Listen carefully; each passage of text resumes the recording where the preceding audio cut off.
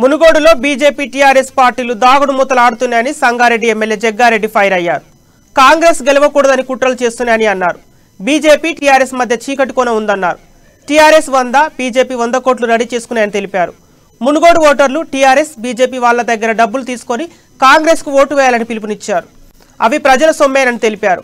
డబ్బుల ద్వారా ఓట్లు రావనే మెసేజ్ను మునుగోడు ప్రజలు ఈ ఉప ఎన్నిక ద్వారా ఇవ్వాలని అనుకున్నారు.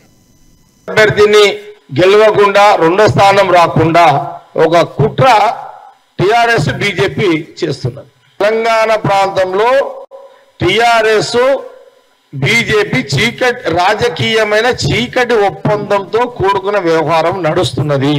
ఒక రాజకీయ కుట్ర కాంగ్రెస్ పార్టీ అధికారం రాకుండా ప్రజల తప్పుతో పట్టించే ప్రయత్నంలో ఈ రెండు పార్టీలు రాజకీయంగా చీకటి ఒప్పందంలో కాంగ్రెస్ అధికారం రాకుండా ప్రజలకును తప్పుదవ పట్టించే ఒక రాజకీయ కార్యక్రమాన్ని టిఆర్ఎస్ బీజేపీ చేస్తుంది అనే విషయాన్ని చెప్పడం జరుగుతూ చాలా సందర్భం